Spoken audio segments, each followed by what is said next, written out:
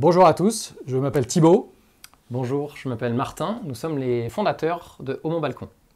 Alors Homo Balcon, c'est quoi? C'est la première plateforme de solutions clés en main pour la végétalisation, l'aménagement et la décoration des balcons et des petits espaces extérieurs urbains.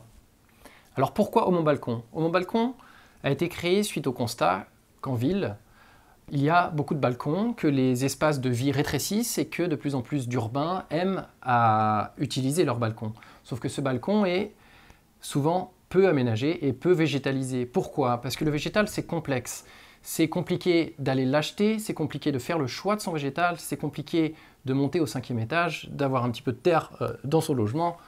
Bref, si on pouvait se faciliter la vie avec une solution clé en main, c'est la réflexion qu'on a menée et c'est ce pourquoi on a proposé la solution Homo Balcon.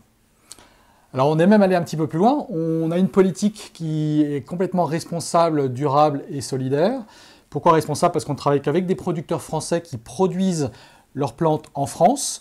Comme ça on favorise les circuits courts et on valorise une filière métier très très pointue du territoire français.